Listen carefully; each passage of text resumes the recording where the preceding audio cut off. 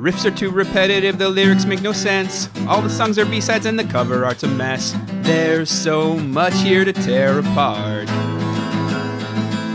Listen to it for a week, now that week has passed. It's why I hate this album podcast with Tim and Garrett.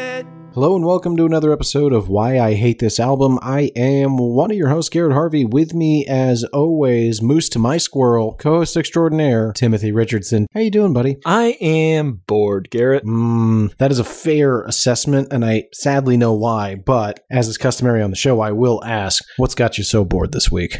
We have been listening to the crown jewel in the Van Halen crown, Van Halen 3, released March 17th, 1998, and requested by Bradley Brown, Jason, and Jungle Panther.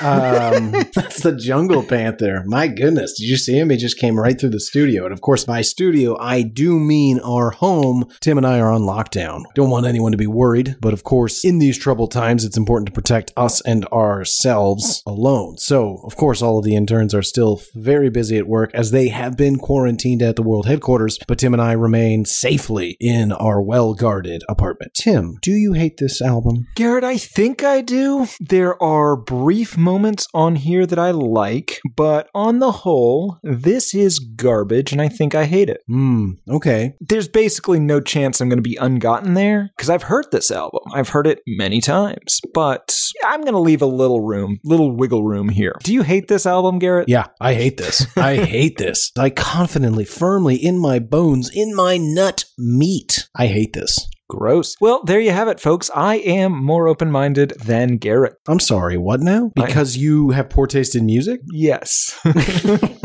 I'll allow it. Interesting. You may hate it, might love it. I definitely hate it, and we're going to get into that. But I have to ask Tim, is this the first time your Halen has been banned? It is not. I enjoy some of their early stuff. I'm not a huge Van Halen fan. I can't confidently say that I like the David Lee Roth or Hagar eras better. Probably the former, but whatever. I enjoy Van Halen. I think Eddie Van Halen is a good guitarist. I think generally the musicians are all good. I don't think I've ever heard anything from this particular album before. That's fair. What about you? Is this the first time you've ever been threed?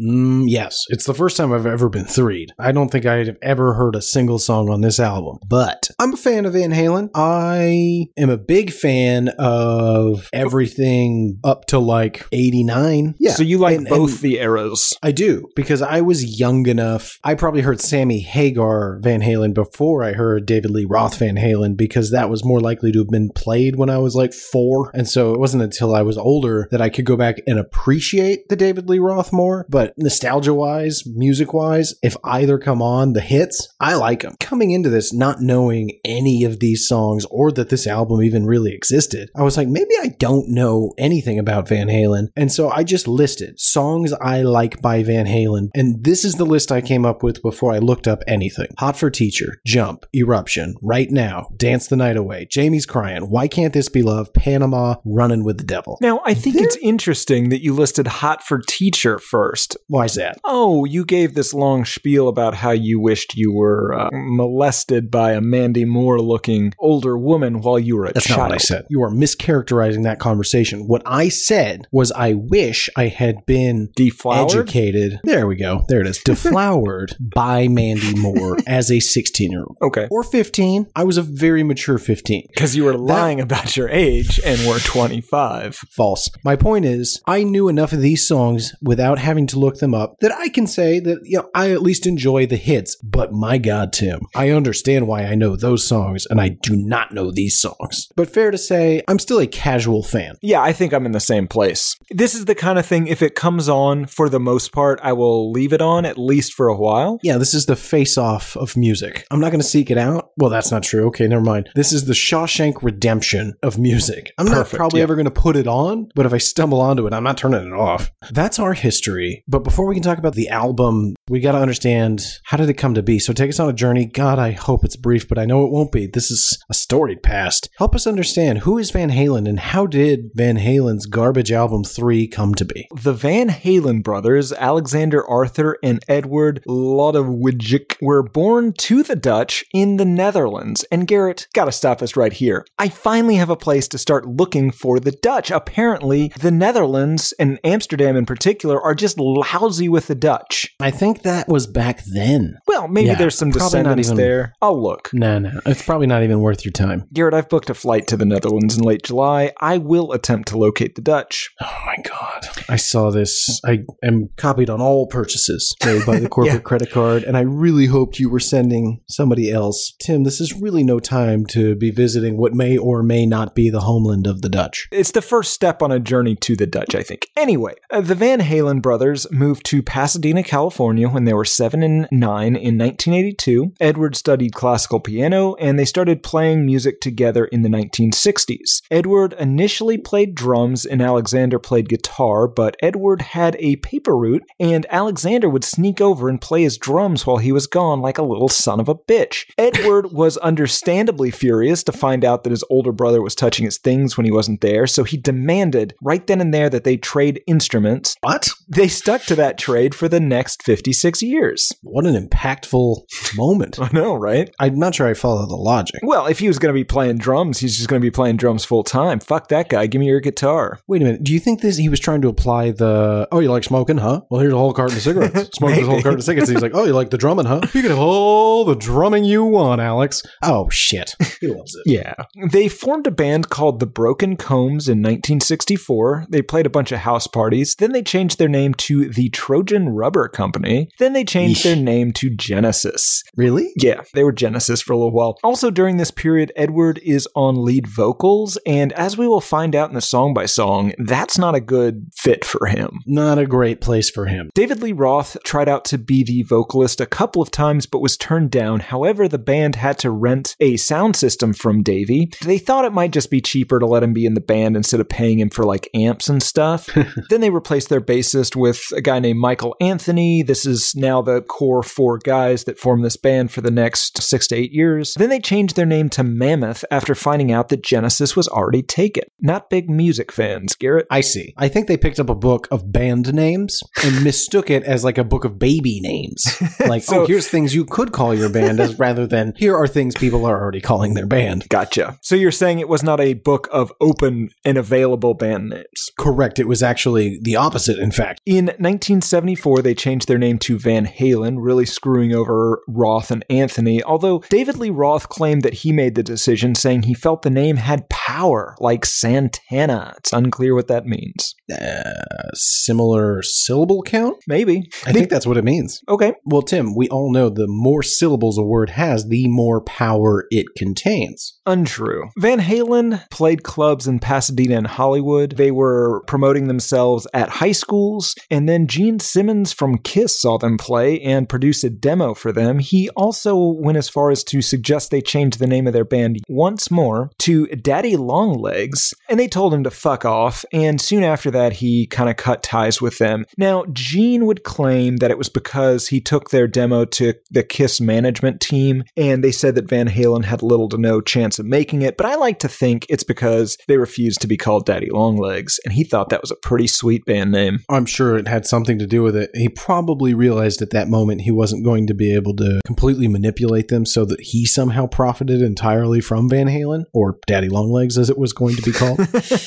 Fair enough. He's enough. the worst, Tim. Well, we'll get into him someday. Yeah. They got a record contract from Warner Brothers Records. They released Van Halen in early 1978, and people really liked it. I think it hit number 19 or something on the Billboard 200. They toured opening for Journey and then Black Sabbath. Then Van Halen 2 came out in 79, and that gave them their first hit single. Women and Children First came out in 1980, and then they kind of started having a lot of tension between Edward and David. Edward was sort of pushing them to be more serious musicians, and David wanted to be a party band, a rock and roll maniac. band. Yeah.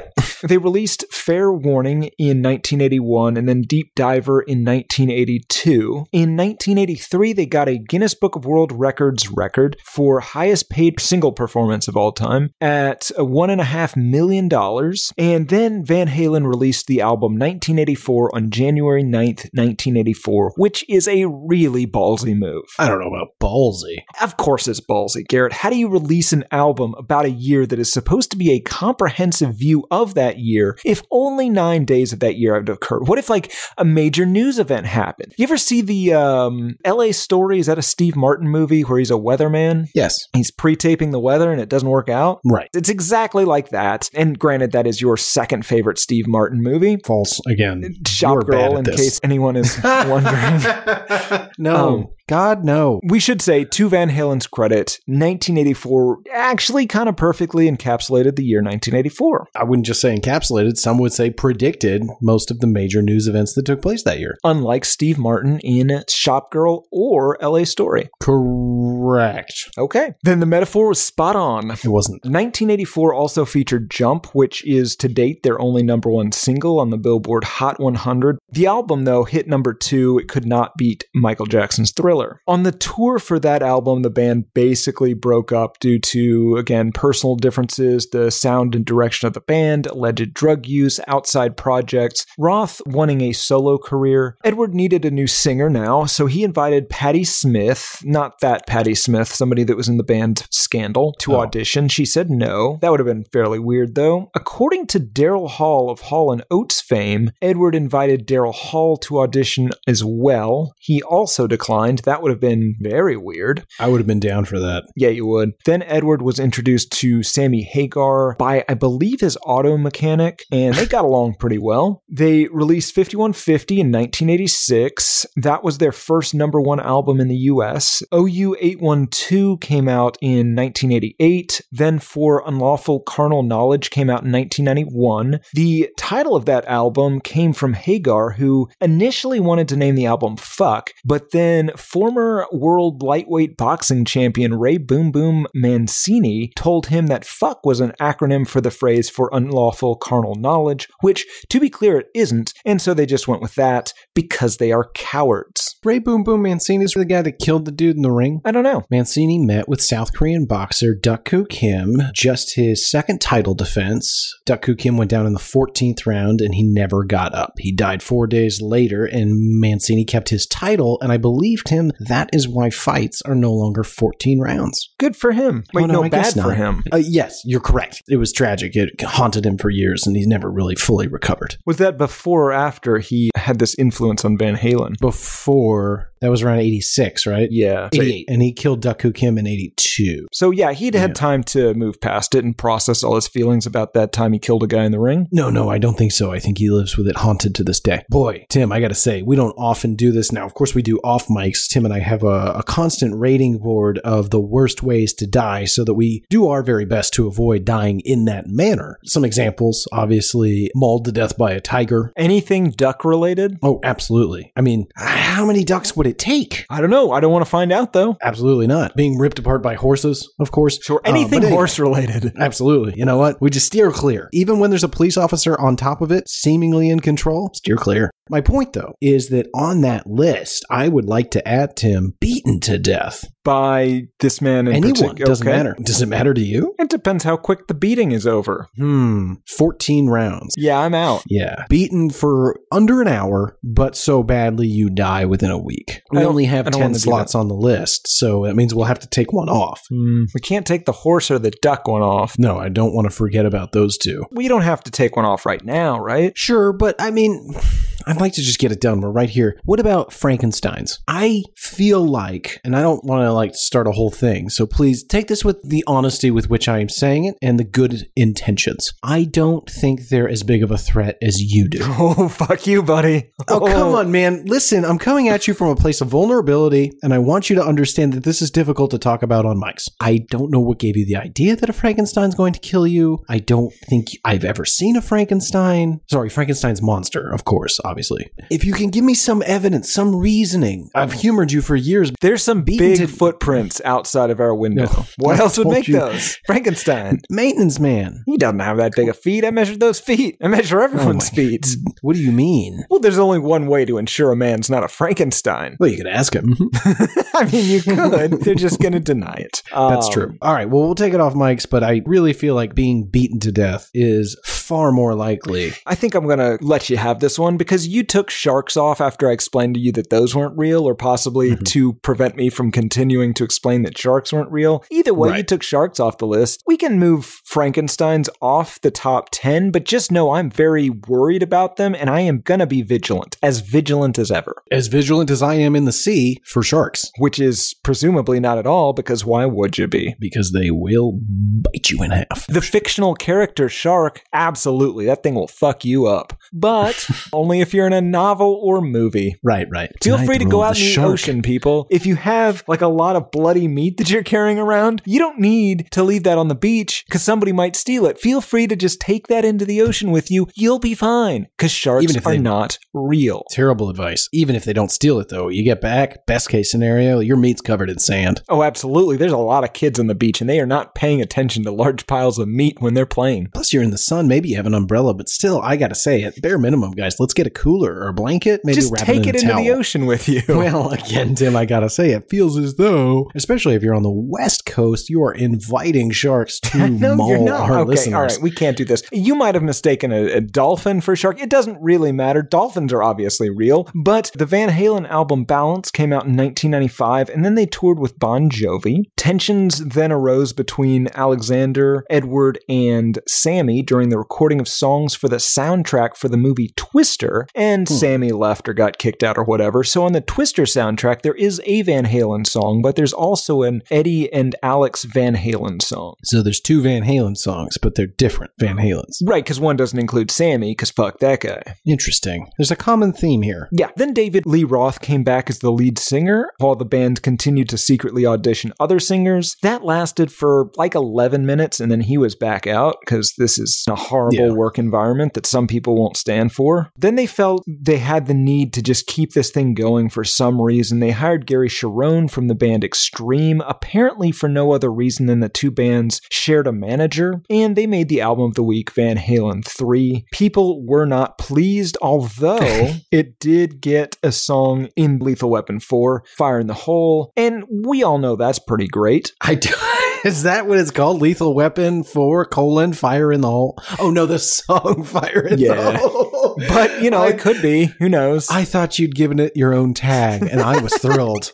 you just personally have always felt like after seeing that film, a great subtitle would have been Lethal Weapon 4 colon fire in the hole. Well, see, that's the problem with giving the Lethal Weapon movies subtitles. They could all be subtitled Fire in the Hole. Absolutely. Riggs is unpredictable at best. Yeah. They began working on a new album that never got made, obviously, and Cherone left. Then they were on hiatus for four years. Then Roth and Hagar did a Sans Halen tour together. Their solo acts would alternate opening for each other. Oh. Then Hagar released a live album that featured vocals by Gary Cherone. Wait, why? Wait, wait. yep, that happened. Hold on. Van Halen kicks out David Lee Roth, kicks out Sammy Hagar. They get together. They do a live album. They do a tour together called Sans Halen. Okay. And then they do a live album with Gary Cherone. I don't think Roth was involved in that, Oh, okay. but it'd be great That's if he less was.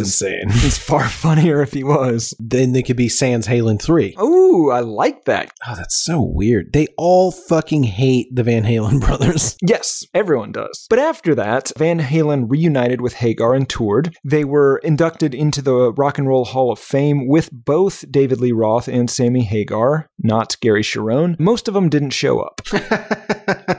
Good sports. Then Van Halen reunited with David Lee Roth, now also featuring Eddie's son Wolfgang Van Halen on bass. They released another studio album in 2012 called A Different Kind of Truth. They toured on that album and they did a 2015 tour, but they basically haven't done anything since then. Thank God. The other thing, though, that we should mention during all these tours, they are the band with this ridiculous contract writer demanding a bowl of brown M&M less M&Ms in their their dressing room, later claiming that this was an easy way to check to see that the contract had been thoroughly read and followed, so they didn't have to worry about stage lights falling on their heads and shit. But I also think they probably got a thrill out of seeing that bowl of M&Ms without Browns, or conversely, hurling a bowl of all the M&Ms in the face of some intern, punishing him. You can do whatever you want, Garrett. He's an intern. No one's going to Oh, yeah. say anything. You can make him do push-ups until he vomits, and then you can cane him as he lays on the ground. That's Absolutely. probably what Van Halen would have thinking anyway. Not anything that can be legally held to either one of us. Absolutely not. You were talking about Van Halen's point of view. We're not even anywhere near our interns. They are locked inside our beautiful world headquarters. Safely, might I add. Yeah, they don't have electricity. Of course. Well,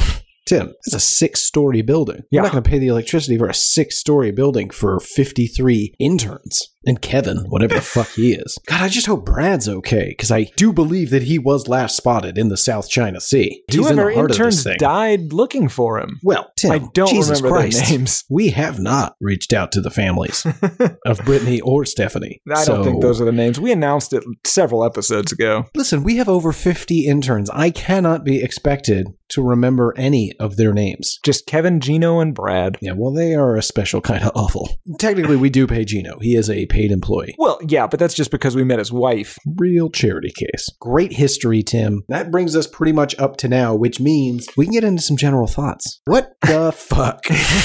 I think that early Van Halen worked because you had a nice balance. You have Eddie and Alex who like playing their instruments, and they got uh, Anthony on bass. Who's very good. Yeah. And can harmonize on the high notes. And then you've got David Lee Roth or Sammy Hagar, and both of them are just sort of fucking around. They're rolling around on stage. They're uh, singing about banging teachers. They're not taking it seriously. They want to be a fun rock and roll band. There was always this kind of tension between the band and the lead singer here. Now you have a situation where you have somebody come in who kind of wants to sing serious stuff or wants to also be a serious musician. Is just sort of the feel that I get from him. I'm not really that familiar with Eddie Cherone's work in the band Extreme, so I can't say for sure if this checks out. I mean, you know the one song, More Than Words. Oh, yeah. We're dealing with somebody that's on the first week of the job, and in that first week, he's supposed to write songs with utter strangers. And if you're doing that, Tim, you're going to be a lot more kind and willing to roll over. It's your first week. You don't have a rapport with these people. You can't be honest and say, listen, Eddie, those are the worst lyrics I've ever heard. We can't do that. You're going to say, okay, also, it doesn't help if you're Gary Cherone and you're not great at writing lyrics. Yeah, he did do an interview on being in the band at this point. He said he would have preferred to tour with them and then put out a record so that he would have been able to establish himself before going to the studio. makes a lot of sense. Perhaps Hagar came in with, I don't know, more of an established personality that was kind of more in line with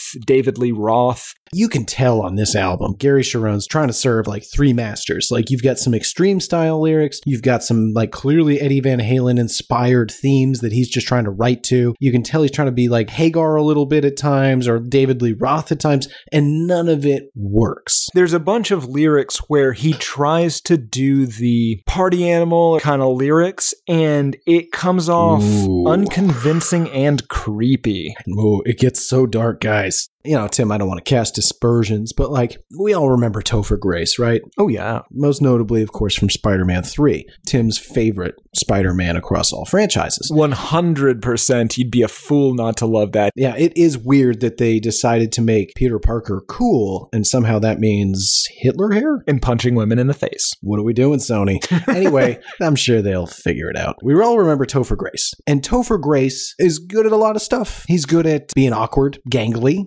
nervous, neurotic. He's good at all of these Sure, things. Sure, being handsome in a non threatening way. Perfect. Hmm. He's your guy. Okay, thanks for chiming in, Tim. That aside, I don't want to hear him like sing an erotic song. No, That's gonna- my God, no. That's going to come out weird. And he's not going to enjoy it. I'm not going to enjoy it. And that's what we've got here. We've got a Topher Grace like character, square peg, round hole, right? Yeah. Unfortunately, there's a lot of things that you can bullshit your way through, but you cannot fake eroticism. That's You've what either you always say. It is is what I always say. We're at Costco, we're picking up supplies, bringing it back to what we like to call the snack shack. It's just a little nook next to the couch beds where we keep some snacks. Anyway, I'm always saying you can't fake eroticism, and it's true. And when you try to, it just comes off creepy, as we will see in this album. Tim, so often, one of the questions that we ask is how did this happen? What made this so bad? How did all of these things come together to create this mind boggling piece of shit? I think this week, uniquely, I can point to some very concrete reasons why. Yeah. Can we start with the producer? Yeah. Mike Post. Mr. Mike Post, famed producer, Tim, of 80s and 90s hit TV theme songs. No, not just producer, Garrett, composer. He wrote That's a good point, Tim. Folks, if you're curious, who's this Mike Post? He wrote the theme song to Magnum PI, NYPD Blue, Law and Order, and about 8,000 other shows. Doogie Howser, News Radio, The A Team, Quantum Leap, Magnum PI. Did you say Magnum PI already? I did. Okay, well, we'll say it again because that's a great mustache. Intimidating as all get out, but pretty goddamn good. That is Uh, Tim's number four mustache in all time mustachehood.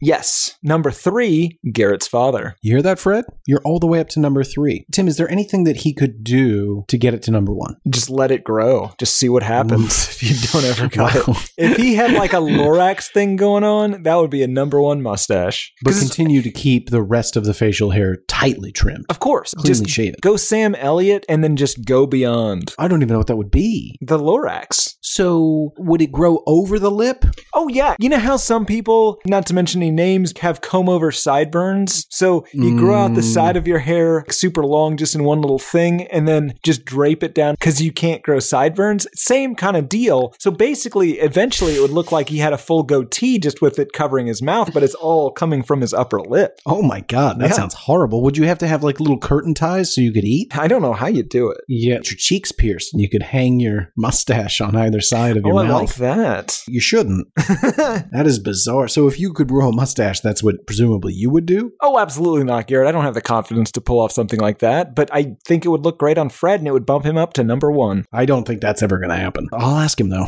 So you've got a producer, a composer, somebody who is almost certainly going to be integral in the arrangement in your album. And he is famous for various 80s and 90s TV theme songs, of which you will be able to hear samples of in this album. So not a great start. No. Second, Michael Anthony, famed bassist for Van Halen, one of the most solid pieces of this band through its entire history, known for his excellent bass playing and remarkable ability to harmonize at the higher registers. Also, as importantly, his cohesion with Alex Van Halen. Those two formed a very good rhythm section. Absolutely. Well, on this album of 12 songs, they felt like it would probably be best if he only played on three of them. What? Like, how did they even convince him to do that? It leads me to a theory. They wanted this album to be their Aerosmith's Get a Grip.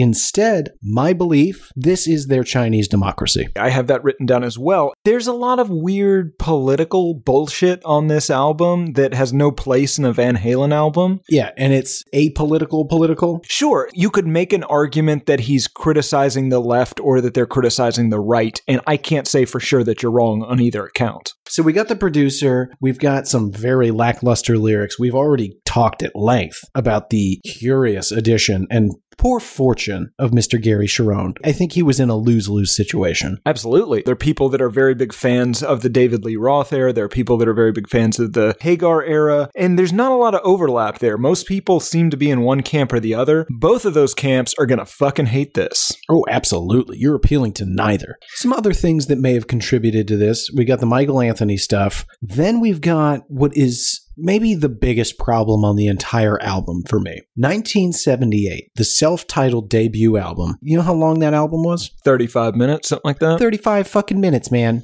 I'm glad to see you did the research. Then each of the others was either 31 or 33 minutes. By contrast, this album clocks in at a mind boggling 12 tracks totaling 65 minutes. Two of those songs are very short instrumentals. However, the shortest song, not counting those instrumentals, is five and a half minutes long. We go all the way up to 834. Tim, I've never once considered self harm. Oh dear. I know, right? But for the first time in my entire life, and I don't joke about this, but about two thirds of the way through that eight and a half minute song, I wanted to cut you Uh, just so I could feel.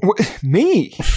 yeah, well, I'm not. I'm not going to cut myself. My God, man, mm-hmm. I like That's- the Dickens. That's fair. But I feel like hearing your cries of pain are going to ground me back in reality. It would be one thing, Tim, if it was eight and a half minutes of genius or even eight and a half minutes of coherent songwriting. But it's eight and a half minutes of mind boggling nonsense that makes my high school poetry look like Chaucer. you keep bringing him up. Who is he? I doubt I have before. Yeah, so Doesn't I think matter. this is all painting a big picture of there was no chance this was going to be good. A quote I want our listeners to keep in mind as we go through these songs. Mr. Eddie Van Halen says, This record is the biggest milestone in my life because the lyrics came first, then the music. What? I think that's another problem with this. He was trying to write music around lyrics, so he's completely upending the way he plays guitar. But Sure. also, how is that possible? Which I think is what you were getting at. Yeah, because These these, lyrics. Oh, man. God, they're bad. It's worse than Corey Feldman. It's as bad, maybe slightly better, maybe. S- Are together. Yeah, you're right. You're right. Corey Feldman's good. Yeah. Guys, I just said that this Van Halen album is worse than Corey Feldman's Angelic to the Core. And I mean it. This is my serious face, Tim. It's not obviously better. I will give you that at least. Only other thing that I wanted to mention was something I stumbled upon and isn't really related necessarily to this album, but I read a review from the Baltimore Sun that was written in 1998. And at the bottom of the review, which had clearly been transcribed from a physical paper, was an artifact of history, Tim. And I quote To hear excerpts from Van Halen's new release 3, call Sundial at 410 783 1800 and enter the code 6107. Sundial was an automated phone service that they had in 1998 for people that enjoyed the article they just read in the Baltimore Sun and wanted to hear excerpts from the upcoming album. Did you call it? No, no, I'm sure that phone number is long gone, but I do invite our listeners to give it a shot. That code again is 6107, the phone number 410-783-1800. If a person answers, do not mention this podcast, but do ask, may I hear excerpts from Van Halen 3? Track number 1, New World.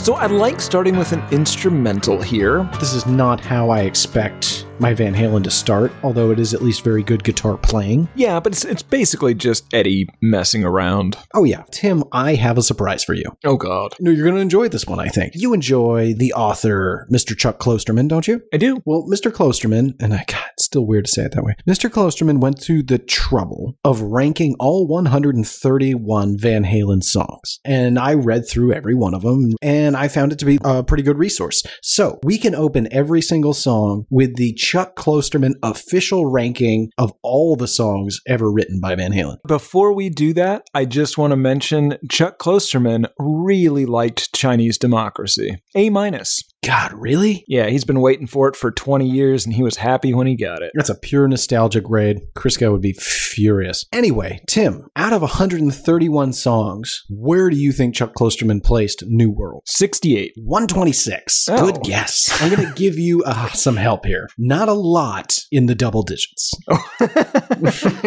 Fair enough. Track number two, Without You.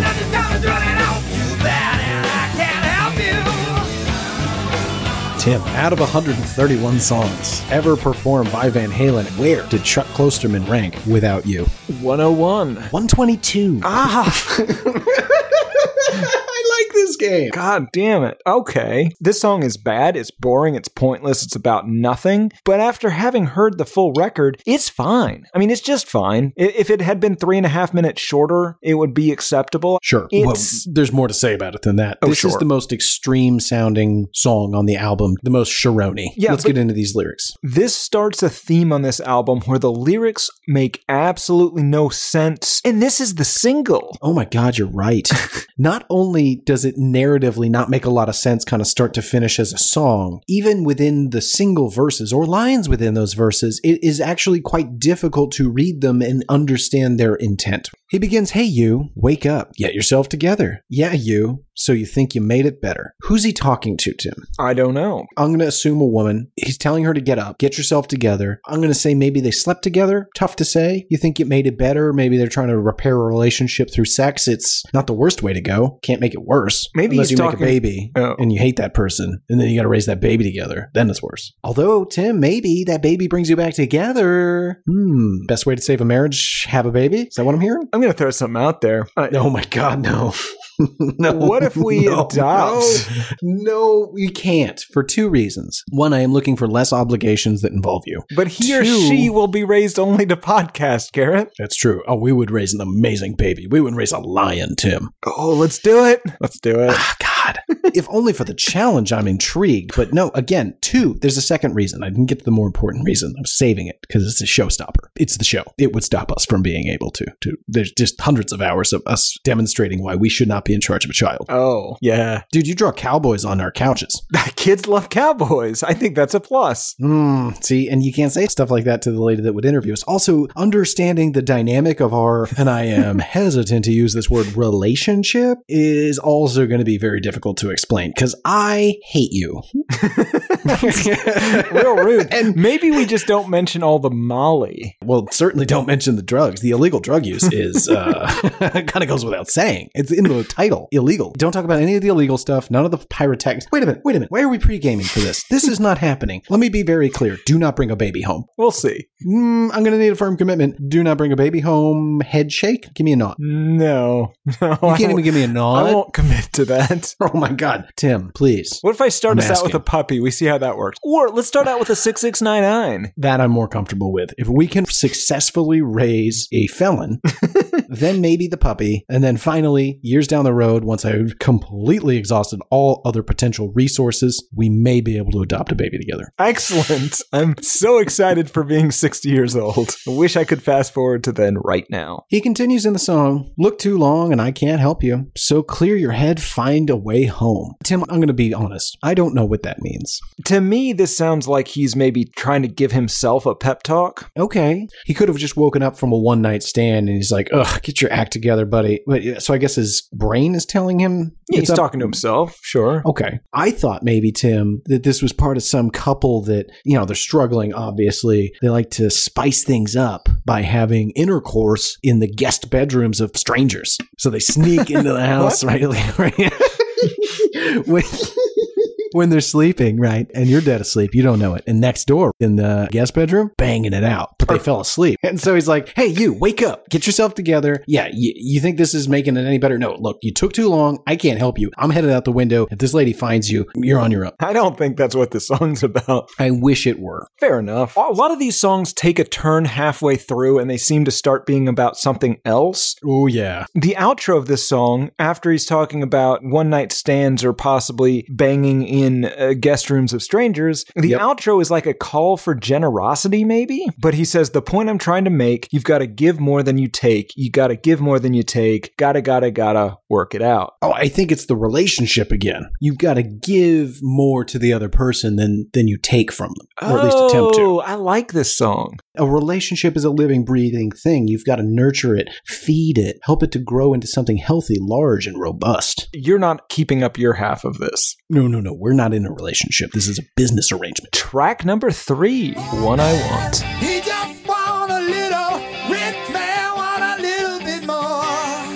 Out of 131 songs ranked by Chuck Klosterman from best to worst, what number is One I Want? 129. Ooh, so incredibly close, Tim. 121. I cannot imagine they have 10 songs worse than this garbage. Well, it it is helping though. You are starting to zero in on a definite theme on the ranking of these songs, though. Garrett, what the fuck is this song? Ooh, well, I I can say one of the things that it is. I think that it is Gary Cherone trying his damnedest to be Sammy Hagar. And it is tough. This is something new, Tim. We've seen lists before, right? We've listed cities, we've listed names, we've listed Numbers? We've listed numbers. This is something entirely different, and it is bizarre. This is a list of men, types of men, and the things that they want. Delivered in a very peculiar way that, for me personally, audibly gave me a bit of a police vibe. It's sort of got a weird, like, reggae undertone to it. Yeah.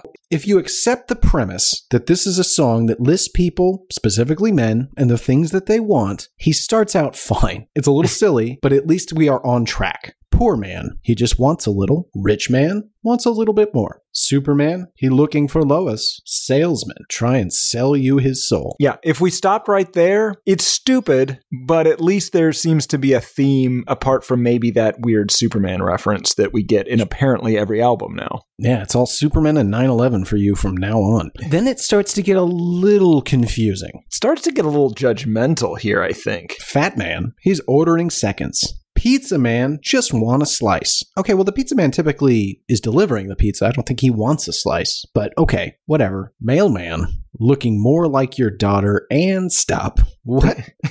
yeah. The other thing, he doesn't seem to know what some of these men are. So I don't know what the mailman looking more like your daughter means. It means he banged your wife. Your daughter's getting older and her features are Oh. coming to oh. bear and she's starting to look more and more like that mailman. I missed that completely. This might be a great song. Let's continue. Although, if your daughter's looking more and more like the mailman, maybe I'm just being gender biased, Tim. Perhaps the mailman's a lady. Well, no, that would be difficult to pull off now, wouldn't it?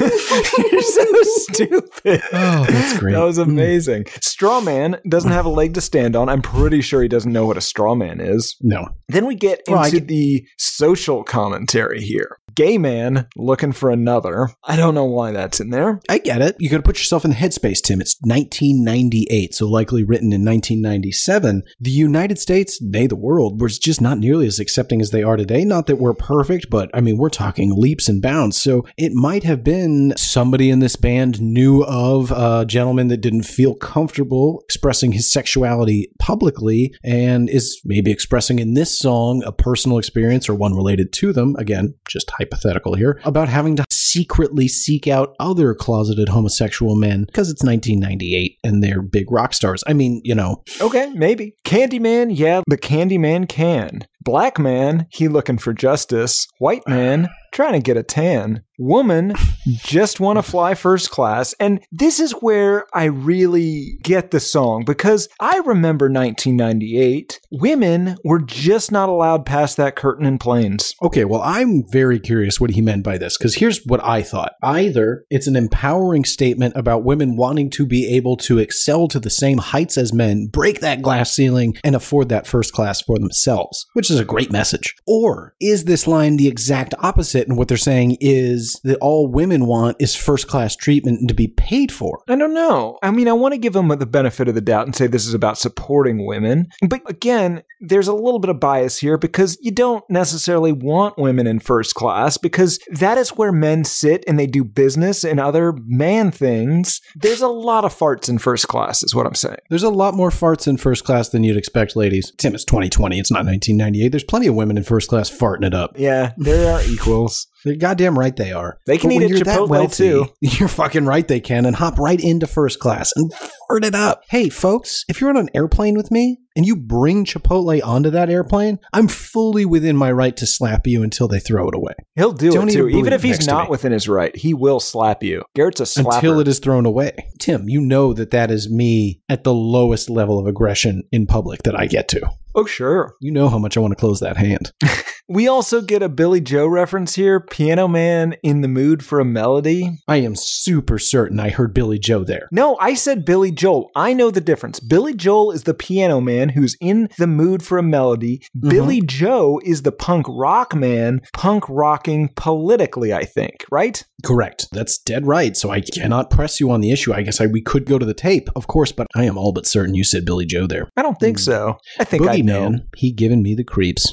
Is there a universally recognized boogeyman, Tim? Some people call him the bogeyman, so I think definitely not. I really don't care for that. I don't either. I guess it's a regional dialect. Neanderthals. Fuck that. Yeah, I am having a hard time with Neanderthal and Genghis Khan Yeah, but you say them both. because I have an open mind, unlike you, and I'm willing to accept that I may have been ignorant to a fact, accept the new facts, and then integrate them into my own personal knowledge. But you kind of hate it, right? I can't stand it. Yeah. Does Gary Cherone or somebody else in Van Halen not believe in evolution? Correct. The line is, Ape Man ain't nobody's uncle. Yeah, this, one of them is a devout Christian. So then, Tim, we get to the chorus, and it feels almost like a completely different song. Sure. There's no idea that connects the chorus to any of the verses whatsoever. No. And all of a sudden, he's just saying, and you're the one that I want, the one that I want, the one that I want. I guess he's saying that he will eschew all of these other things, all of the other wants and needs of all the other men,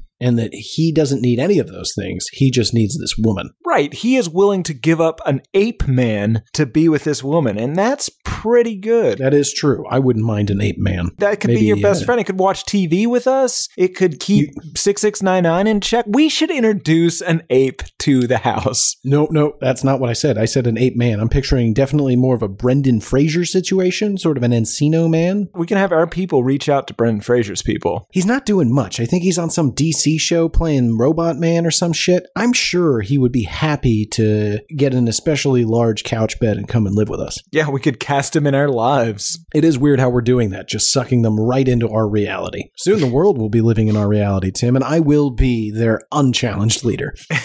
I think that this could be a list of all of the things that this character has been throughout their life, and they are willing to no longer be any of those things if he can just have this lady. Sure. I will say one nice thing about this song, because I don't have many to say about the entire album. This is one of the few I could hear Michael Anthony singing, and he's still very good at it. So good job, sir. Track number four, From Afar.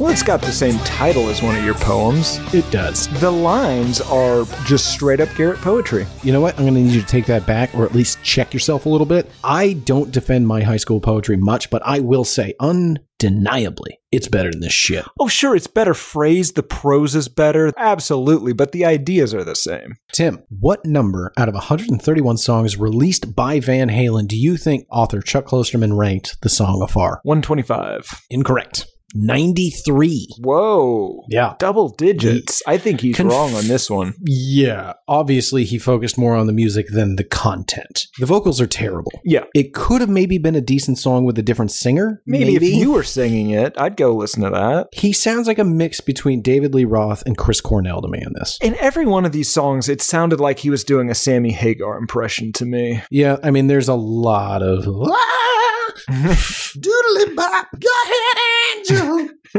anyway, he says, Tim, if I cannot hear you from afar, whisper in my ear. Rest assured that you are near. Now you are near. If I cannot hear you from afar, whisper in my ear. Rest assured that you are near. Any ideas, Tim? Well, I think he's saying he can't hear somebody from far away, but if they're close, he can hear them and he'll listen. Sh- Okay.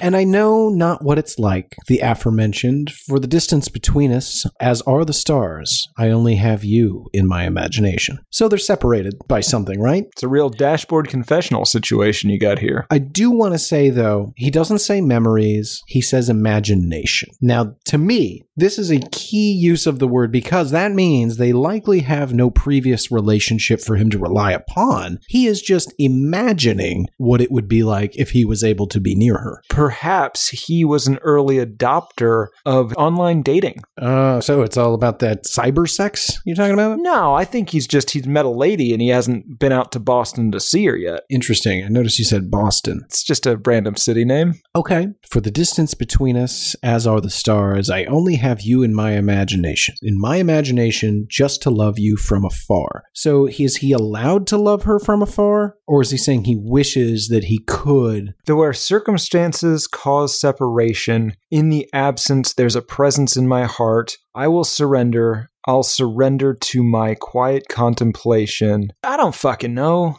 Okay, let's piece this thing apart, Tim. We're smart. He says, If I cannot kiss you from afar, press against your lips, taste your sweetness of your breath. Hold on.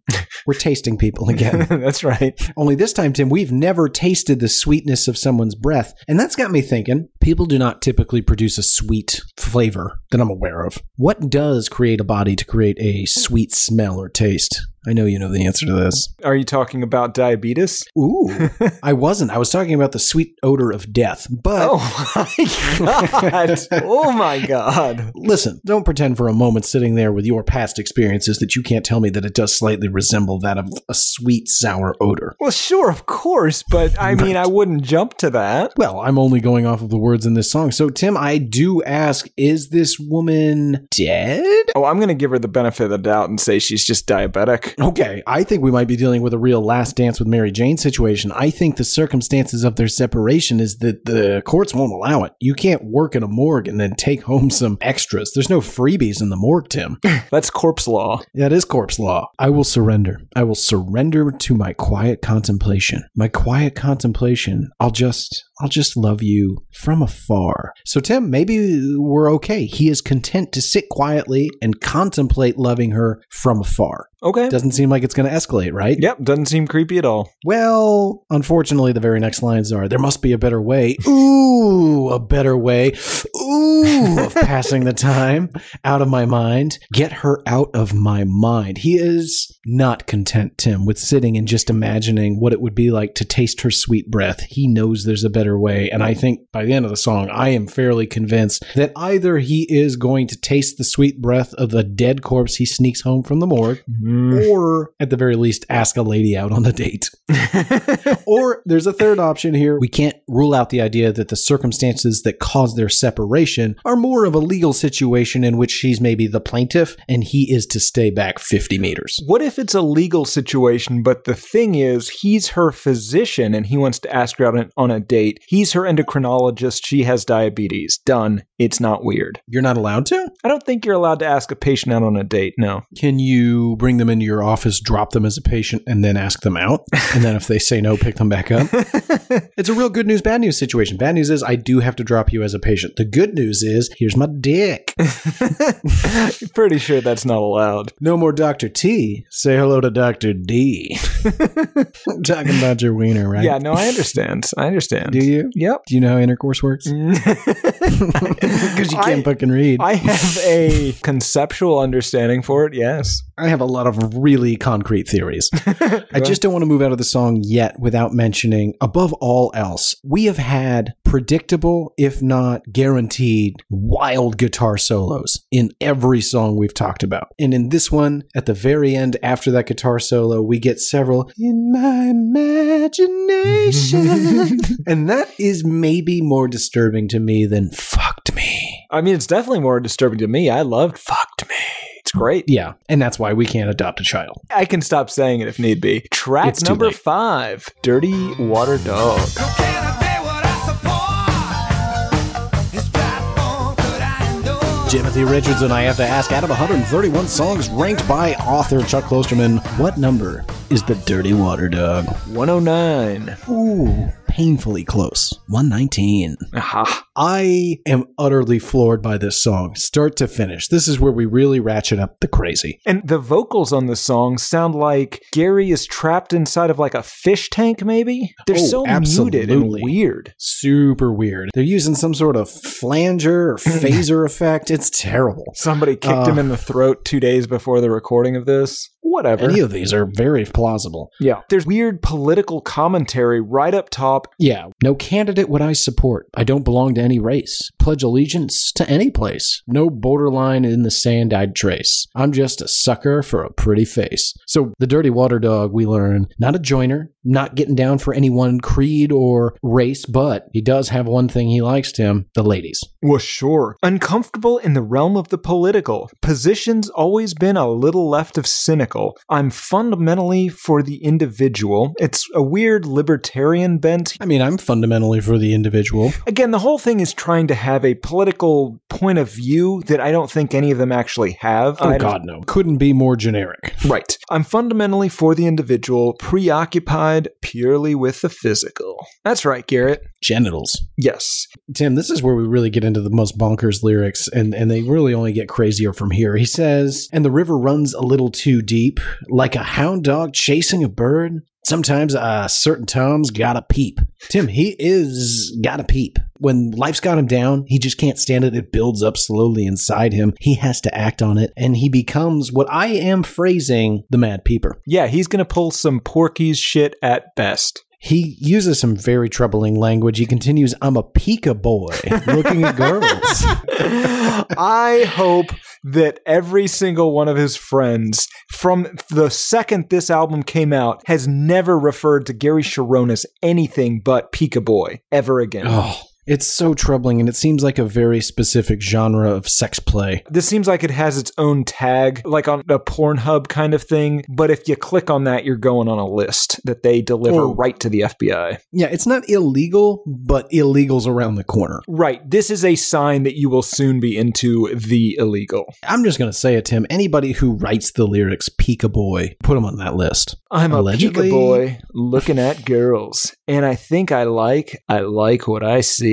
I don't think he does. No. And then it goes on about how Gary Cherone is not gay. Really, he's not. He likes banging ladies, only ladies, not men, because he's Prove it. straight. Prove it. I can prove it. Can't Okay. comprehend the meaning of the metaphysical. I'd rather leave that to your so called intellectual. But what I do know, I know feels only natural. I'm just a red blooded heterosexual. Well, you know what? That clears it up. Unquestionably, this man's a heterosexual. He stated it in the song. Wow, Tim, I gotta say, anytime I hear somebody so overtly and so curiously claim their heterosexuality out of nowhere, I'm gonna get some pretty skeptical hippo eyes. That does not make any sense. Right. And I think you should have to separate this by at least a song. If you say I'm a Pika boy, there should have to be like a good eight minutes on that record before you say I'm just a red blooded heterosexual, because it's not convincing put together. Yeah, if your objective is to convince people that you're not some sort of, I don't know, what do you think a Pika boy is? It's a guy that peeks at boys. Okay. Maybe a, a gentleman that enjoys just getting a quick glance at his partner. He's just a quick peek at the boy. Ugh. okay, maybe like a confessional where it's got like the mesh so you can't really tell exactly what they look like. Okay. Maybe it's somebody that likes to be peeked at. Okay, what's he doing?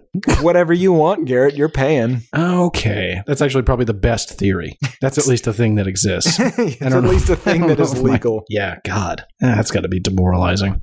Oh, now the very end of this song, Tim, after he declares his heterosexuality, as we all do, he says, and I think I like a dirty water dog. That makes me think, Tim, this whole time I thought we were learning about the dirty water dog. I think he's referring to women. Are women the dirty water dogs? Oh, absolutely. He's he's a Oh. hound dog chasing a bird, sure. He's a peekaboo boy. Oh, right. He's a red-blooded heterosexual, but maybe he's into some dirty water dogs. And what is a dirty water dog? Uh, I think it's somebody that will willingly participate in a role playing situation in which a Pika boy peeks you. Or maybe you're the Pika boy. I, mm, it's unclear. What is important, Tim, is it's not his fault. He clarifies. He says, I can't choose what's not my decision. When there's only one under the sun, there's no need to be denied. So when he gets the urge to peep, when he's got to be that Pika boy, Pika boy, boy, it's not his fault, Tim. He's like the werewolf. It's just part of being him. The cycle comes around and he's got to peek. Right. Sometimes a certain Tom's got a peep. Mad There's- peeper. it's Tim, the same thing you with a lot of things.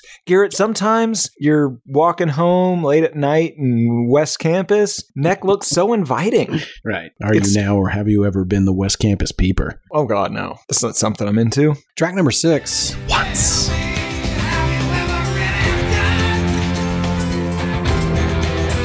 Out of 131 songs ranked by author Chuck Klosterman, Tim, I ask, and keep in mind, there's been a theme here. What ranking did Chuck Klosterman give once? 126. Oh my god. 124. Ah, real close. I hope you've been writing these down, I have not. I'm probably guessing the same number multiple times. which would probably be your best strategy. I have no idea what this song's about. We open with a huge piano opening, which is confusing. Well, yeah, Garrett, this is their piano album, their acoustic album. It's like their Led Zeppelin 3, but bad. Oh, yeah. I mean, you got to fill seven minutes and 42 seconds. I think this song starts off, this might be a stretch, but is it a reference about abortion? Oh my God. Once born can't ever be not conceived. Once present can't ever be past. Okay. I would agree, maybe line one, but line two, once present can't ever be past. That's untrue. Everything that's present will, in fact, be past. Well, you can get past that if you think about it through this lens. They're fucking idiots.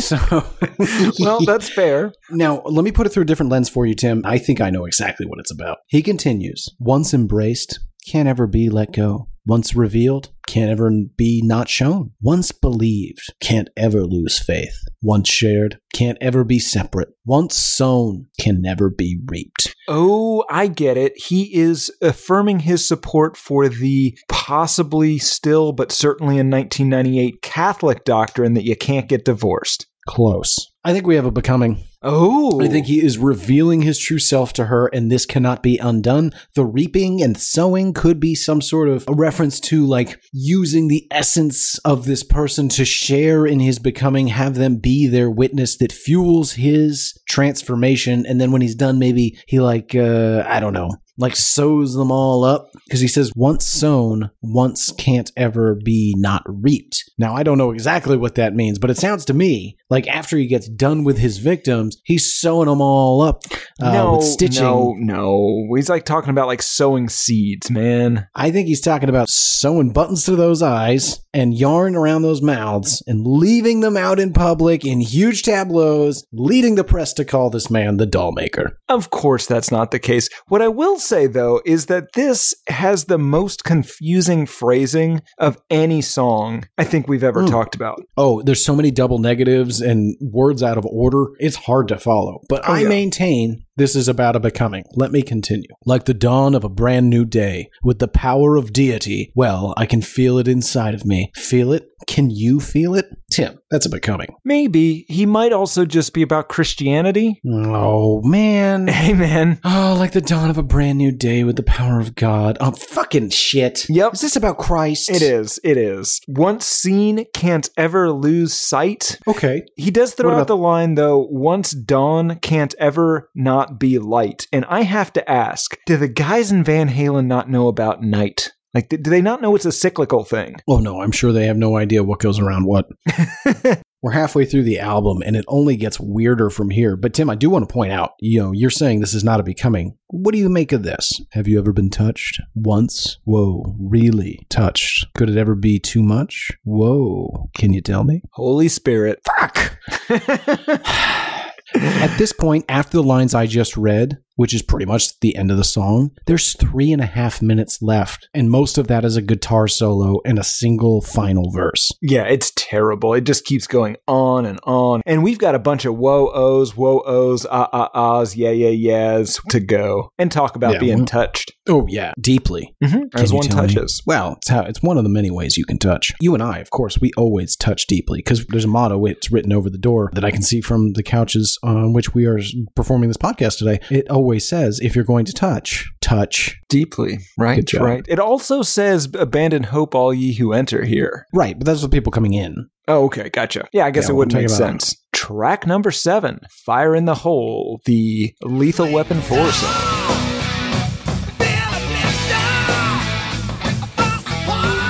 Tim, I have a question for you. Yes. You probably have no idea what I'm going to ask. Out of 131 songs written by Van Halen and ranked by the author Chuck Klosterman, what number do you believe he ranked Fire in the Hole? I think higher than some of these others because I think he's a Lethal Weapon four fan. I'm going to say eighty-eight. Oh my God, Tim. Folks, we did not rehearse this. Did I get it? 94 Oh. out of 131. But hmm. come on, Tim, out of 131 random guesses, and I do say 131 because I know you don't remember your previous guesses. to come that close within six, that's really good. I want you to feel good about yourself. I right do now. feel good about myself. It's Now I want you to, feel that. bad because you still got it wrong. Well, sure, but I know Chuck Klosterman's affinity for Lethal Weapon movies. hmm It's almost cheating. It is a little bit of cheating, but the, you know that's like saying studying for the test is cheating, It is. which I I believe it is. Yep. Opens with a helicopter and maybe some spaceship noises. There's a lot of these that have weird sound effects. Yeah, this one's definitely helicopter and a little bit of machine gun fire. Good job, Eddie. Yeah. Then we get a super classic 80s guitar riff, and then maybe some of the worst lyrics on the whole album. He makes a bunch of new portmanteaus in this that are I, some you of know, the I think you're that's really classing it up. Continue. Sorry, is, but, I just I disagree. It seems like he's trying to make Confucius sayings, but new ones. Yeah, like if an eight year old was trying to write fortune cookies. Sure, in a word to the wisdom tooth, to tell or not the truth. Don't know what that means. Most of these songs are written and performed in, I'm going to call Boston blues. And the reason I'm picking Boston is because of Aerosmith. And there are so many songs. So the lyrics you just read are really in a word to the wisdom tooth. like it's all just this bibbity. It helps because it kind of obscures some of the stupider words on here. Sure. This is unfortunately there's a few songs on here that it's almost impossible to understand what the fuck they're talking about because half of the words aren't even real. He says sweet and sour fill a blister, faucet pouring, fresh and bitter. What? Well, Garrett, he's taken filibuster, a word you know, and blister, Uh-huh. a word you know, and made filibuster. That makes it Oh. clever. There's a fire in the hole. Fire in the hole. Hey, hey, hey, hey, hey, hey. There's a fire in the hole. Hey, hey, hey, hey, hey, hey. Fire. Ah, shoot it. Come on, smile and say cheese. On a count of three, you got a mind full of decavities. See, there he's taken depravity and cavity, made it one word. That's clever, y'all. they finish up by saying, Great is the forest set by a small flame, like a tongue on fire, no one can tame. I kind of thought that might be a reference to herpes. Oh, tongue Like, herpes. uh, like, like a genital fire set by a small flame. Uh, You know, first it's just like, oh, it's a weird little bump. And then before you know it, it's all set on fire by, you know, a classy way. They say a tongue on fire, no one can tame. We all know what that means. Promiscuous. yeah, tongue herpes. Tongue herpes. That herpes soaked tongue. Yep. And she's probably a liar too. She's probably taking Valtrex. And you're like, I'm fine.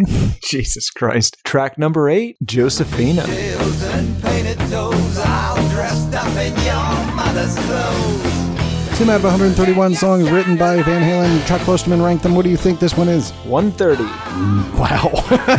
I really hated it, and I hope he did too. 123. Yeah, that's fine. Wow. Yeah, you're still very close. This song is bad. Yeah, it's going for like an acoustic ballad thing. This I kind of thought they were trying to do like a Led Zeppelin 3 territory here as well. Yeah, they opened very Led Zeppelin y. I'm going to throw this at you. I'm curious if you agree. You may not have any opinion. I thought this might work better as an Elvis Costello song. Yes, I think so. He would have to change a few of the lyrics because it's confusing who he's singing to. I do Um, have a theory about who he is singing to. I was going to guess his mom. Oh, God, I hope not. I know, but it starts off. It seems like maybe his mom died, and he's singing the first half of it. It does get Hmm. weird near the end. I will. I, will like this grant you that. All right, lay it on us, Tim. Josephina, there's so much I want to know. I've known you for all of mine, but not all of yours. So he's known her for all of his life, but not all of her life. That would make sense if it was his mother. Sure. You're not a stranger. No, nothing could be further. I look back and I wonder what you were like long before. So it sounds like he's maybe talking to his mom, or perhaps she's died and he's thinking about his mom. It does immediately get weird, though. Can I pose an opposite theory before Oh, sure, we hit absolutely. the curve? Yep. I think he's singing to a babysitter. Oh my God. Yeah. Now, they're both older now, I think. And, uh, you know, it's just an older, intriguing woman, and she's known him his whole life, but he's only known her for, you know, the latter half of hers, and he's curious. Oh, I When- love your idea. Yeah. You're one hundred percent right. Holy shit, you're right. Young virile Josephina, tell me tales? If I asked you, would you tell me the fact from the fancy and the dreams in between? Did you break a heart like little girls often do? Pigtails and painted toes, all dressed up in your mother's clothes. It gets kind of gross there. I'm not gonna lie. I'm uncomfortable with that part. Well, sure, Uh, but it makes sense because this is Gary Cherone. He wants to write a classic Van Halen song. He Sure. heard songs about, oh, these guys like to write songs about like uh hot for teacher. So Yeah, he thought babysitter. What's sexier than a teacher? Your babysitter. Yeah, and he wants to hear an erotic story from his babysitter.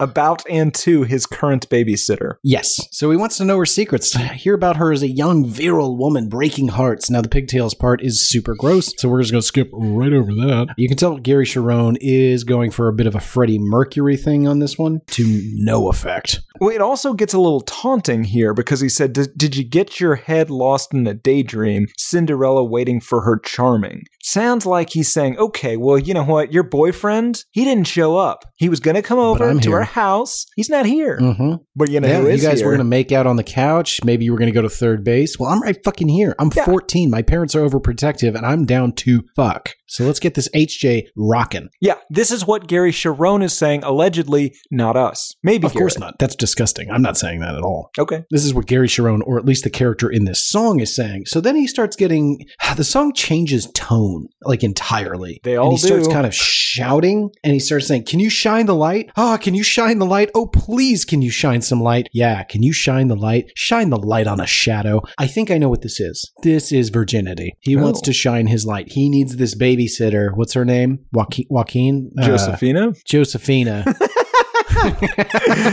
to to shine his light okay. maybe take his virginity. It's tough to say. Maybe he's a 17 year old uh, that has a babysitter. Maybe his parents are crazy. Oh my God, Garrett! Did you? Holy shit! You had a babysitter at seventeen. That would have been amazing to make sure I Um, go to bed at 8:30. That's right. Does this song end in circus sound effects? Sure does, Tim. Any good song does. Okay, how does that relate to the babysitter virginity theme? She is not interested in the least. Turns on his nightlight slash circus uh, music and just how leaves him. terrifying. Yeah, Good night. Here's the sound of the circus to lull you to sleep. Oh God, there's clowns screaming. I got you this tape of clowns laughing. you make us laugh. Okay, you have to stop. You can pick up that tape of clowns laughing on our website, hatepod.com slash store. Track number nine, Year to the Day.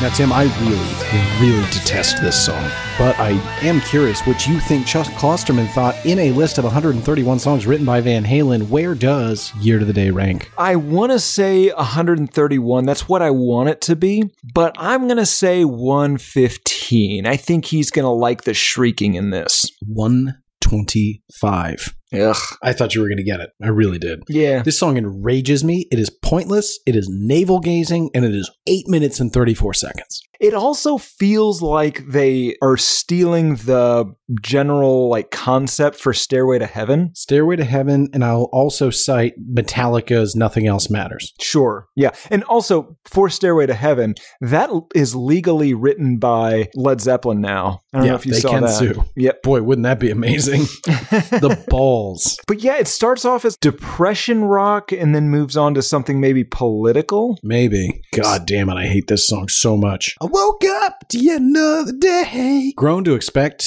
expect more of the same, except for for a subtle change, and that is I'm slowly fading away. Great. Yeah. Is he dying or disappearing? I don't know. I think Maybe somebody's going back through time. I think he's just depressed. oh, I was hoping someone was going back through time and erasing him. That babysitter just wants to forget. That time Gary Cherone tried to get her to give him a hand job. Well, HJ, if you say HJ, we don't have to say after dark. Really? Yep. Hand job. after dark. Harvest This moon soon will pass. Crop is gone, left only chaff. A bitter pill in an overcast. A flag unfurled at half mast. Is he flying a flag at half mast to honor the death of his relationship with a woman who left him? Oh, everyone should do that. Then you know who to be No. sensitive to.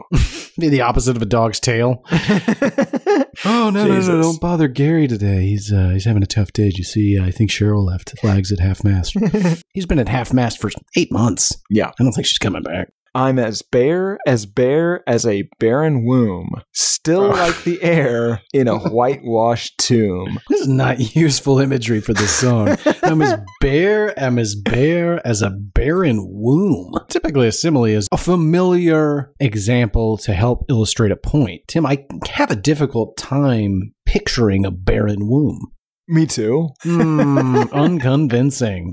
I know what those parts are. this song has two verses and is eight and a half minutes. Well, Garrett, there's a shrieked chorus that is shrieked many times. Many. And then they end it. There's this little outro where they shout, A year to the day, a year to the day. Yeah, yeah, yeah, yeah, yeah. 365, 365, 5, 5. By Get the time they're shouting 365, you will be so embarrassed and angry for them. Angbarrassed? No. Bangry. Bangry. Ang, there it is. Angbar- Angbarrassed. That- that- that's a tough one. We'll work on it. Anyway, you just don't care. What happened a year ago? They never even address exactly what it is. Well, he's bare as a barren womb. Uh huh. He lost his Uh, clothes. Maybe he lost a baby. Maybe it's not him. Oh. I don't think so. I think it's just a shitty simile in a worse song. So they the flag is at half mast for their miscarriage. Well, that's worse. Tim, I'm not going to go down this dark avenue you've put us down. Disgusting. Track 10, Primary.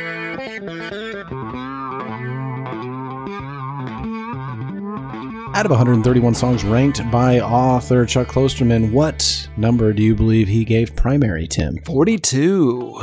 Wow. No. 114. Oh. It's a sitar solo, and not a great one. I don't even know if it's a sitar solo. I suspect that it's a Heavily manipulated guitar solo. there it is. It's it not doesn't sound like a sitar. Yeah, and it's not even really a solo. It's just him fucking around in a studio. Yeah, some might even say it's insulting to put on an album and sell to people. Track number 11, Ballot or the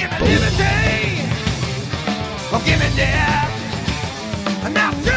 Out of 131 songs, how many? What do you, what do you think this means? 111. So close. 48. Really? Are you kidding me? I'm not.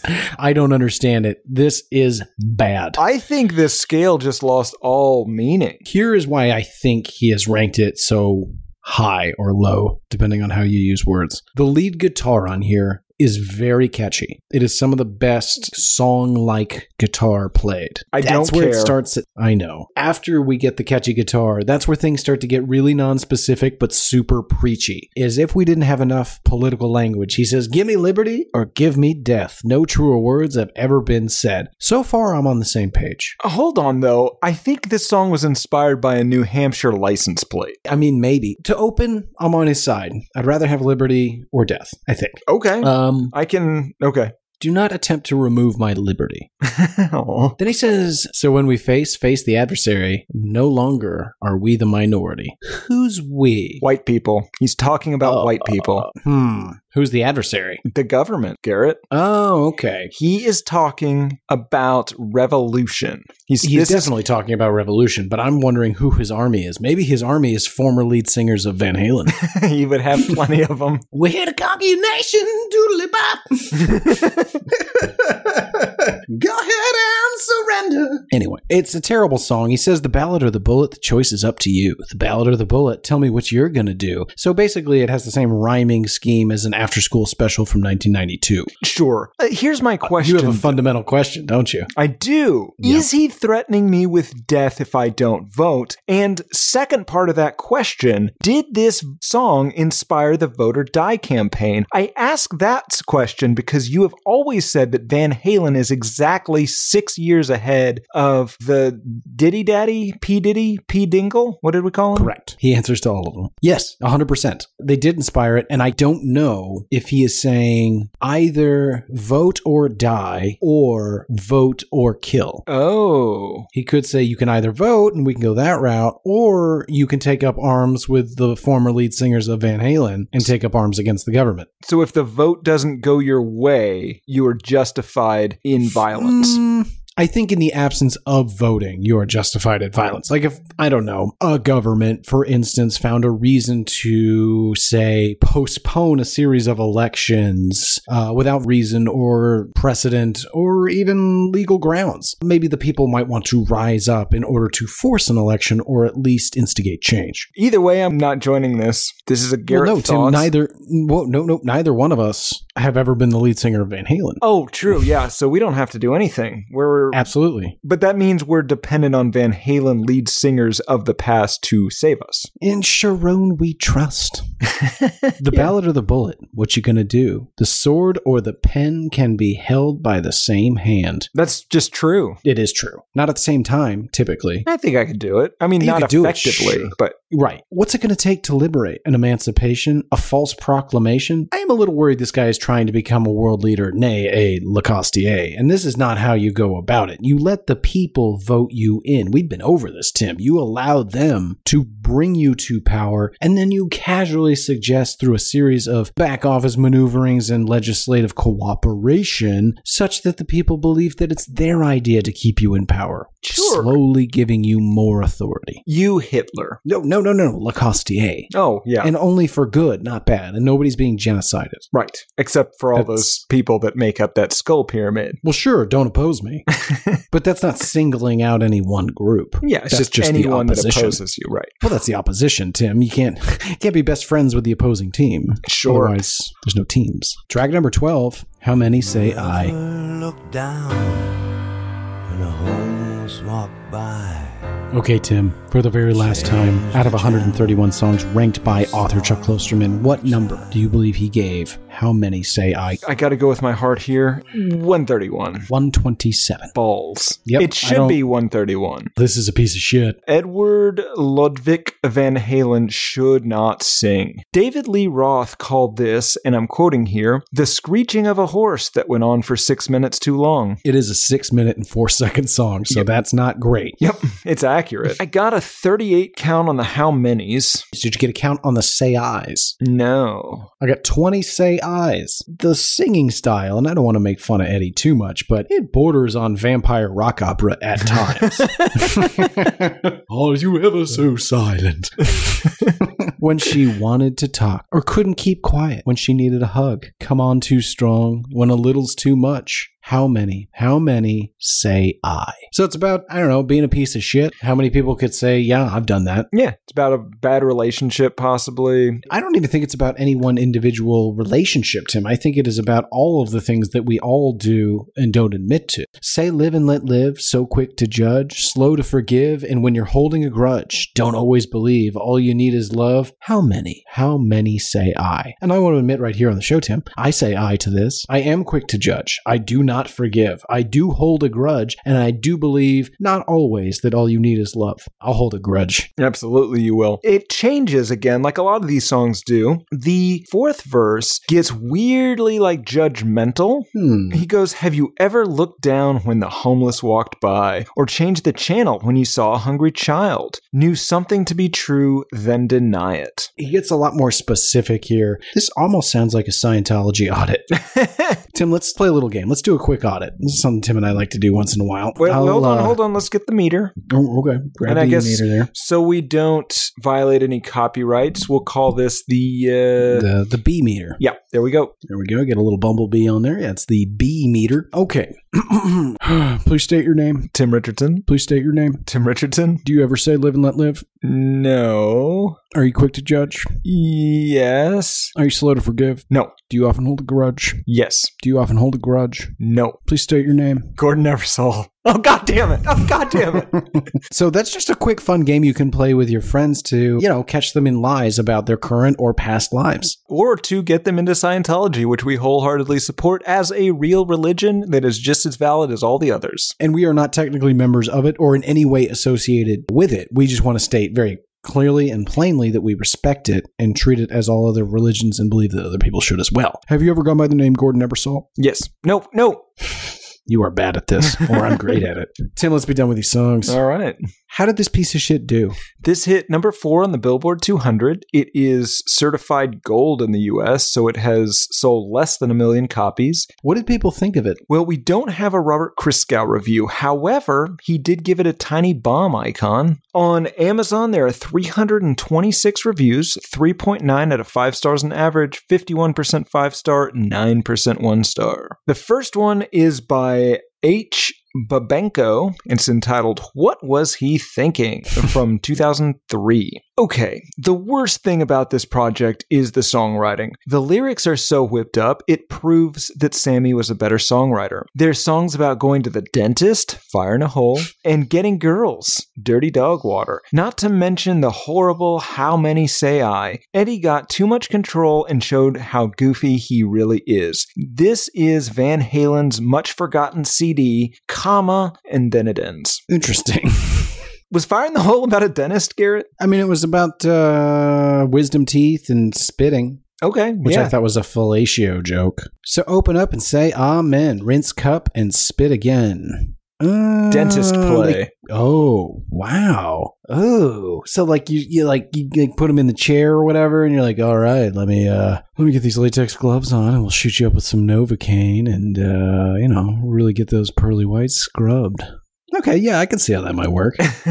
yeah, that was a one out of five star review. On the other hand, Sabatar from the United Arab Emirates called this Van Halen's most profound album to date, 1999. Hmm. I've always taken the general mass opinion regarding the evaluation of a certain subject to be a true statement. He's a bandwagon kind of guy. Right. But not this time. I find it really difficult to understand how loyal fans cannot exert an effort to accept a new album and allow themselves to assimilate it, even by acquired taste. Van Halen 3 is damn good. I did not like it when I first bought it, and to tell you the truth, I bit my fingers in remorse for having spent money on it. I felt like Jesus. a fool who's been deceived. Then I started listening to the album, forcing myself to get through to the last song. Now it's one of my best owned albums. It's really worth its salt. From Afar sends me into a trance, and so does A Year to the Day. Give it a free listen and conquer it. five out of five stars. All I did was lock myself in a tiny box with nothing but this album for four days straight and a gallon of water. I love it. He's the sort of person that has, for his entire life, whatever the majority of people say, people, they like Britney Spears, I must like Britney Spears. And this album was his breaking point with society. This album was the one that made him think society might not have it right. After he forced himself to listen to it in some sort of detention camp style approach to music. Well, Garrett, that's what we do. Well, yes, no, we are somehow waterboarding our ears. Fantastic reviews, Tim. Who's this for? This is for, well, two groups of people. One is the diest of diehard Van Halen fans that just have to have everything. Okay. And the other is people that really like Van Halen, but don't really like the Hagar or David Lee Roth era. I think I agree with you, but let me put a finer point on it. The first group, again, the completists, the ones that just they're going to like whatever Van Halen puts out, and more power to you. If you're Van Halen head, great. Now, that second group, Tim, the people that don't care for the Hagar, don't care for the David Lee Roth, they want that third option. You know who I think that group is? I can even give you not a group of 30, not a group of 20, not a group of five. It's one person. His name is Eddie Van Halen. this is an Eddie Van Halen solo album. I guarantee you, even Gary Cherone does not want to talk about this, Oh, he except for to say, I'm sorry. Yep. Fantastic. That brings us to final thoughts, Tim. Is there anything that we haven't touched upon that you want to say about this song? No. Wow. Never, never in the history of the show have you been so incredibly concise in your final thoughts. And I want to just say thank you. Untrue. I, on the other okay. hand, have many additional thoughts on this album that I'd like to go through now alphabetically by the mood that they put me in. No, I, I have nothing else to say about this piece of shit. If anything, I'm frustrated at how much time we have dedicated to it. So I asked him, Do you hate this album? Yes, yes, I do. That is the correct answer. What about you? I feel like you just answered it, but Garrett, for the official chalkboard, do you hate this album? Yes, sir, I do. I do, in fact, hate this album. Tim, as always, I want to remind everybody if you want to help us out, and God knows you do, rate, review, subscribe, ideally through iTunes. Spotify is good as well. Uh, write those reviews, throw the five stars up there, get them out of the way, and then write something weird. We read every review because we're looking out for you. We want to hear the inside jokes, the odd references, the entirely Italian reviews. You can also reach out to us by going to hatepod.com where you can get every episode of the show we've ever done in any format ever, or you can click on contact us in the upper left hand corner and ask for an email address. That's just so we can reply. We don't do anything with it other than that. We just want to say thanks or answer any questions you have. Speaking of questions, you can also just write to hatepodmail at gmail.com if you don't want to go to the website, and you can reach out to us directly, and we want to hear from you, God damn it. We want your questions, your thoughts, your stories. We know you've been listening to these albums. What do they bring you back to? What were you doing? What horrible, embarrassing stories can you share with us? For God's sake, I've given you my blood, my high school poetry book covered in my own blood. Why I do not remember. Anyway, you can also go to facebook.com slash hatepod. You can reach out to us on Twitter at album hatepod. Instagram is just hatepod. You can also go to our Discord page. It's in our feed on Instagram or at least Twitter. So if you're looking for that, that's there with the link. You can also go out to Reddit. We got a, a subreddit devoted to the show if you want to talk about that. Tim, what am I leaving out? Soon to be 4chan and 8chan. I hope not. For Why I Hate This Album, I have been one of your hosts, Garrett Harvey. I have been the other, Tim Richardson.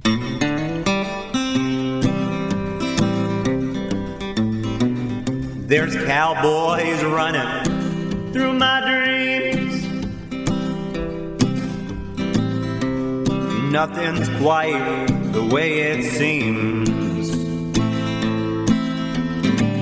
I joined the Navy, got kicked out in a week. My facial features aren't distinct. Try to find some meaning in these songs. The genius is a genius, got it wrong. No, it's a lobster murder sex thing. It's the bleaching of the rear. Full assault on both your ears. The riffs are too repetitive. The lyrics make no sense. All the songs are B-sides. The cover art's a mess. Listen to it for a week. Now that week has passed. It's the Why Album podcast with Tim and Gary.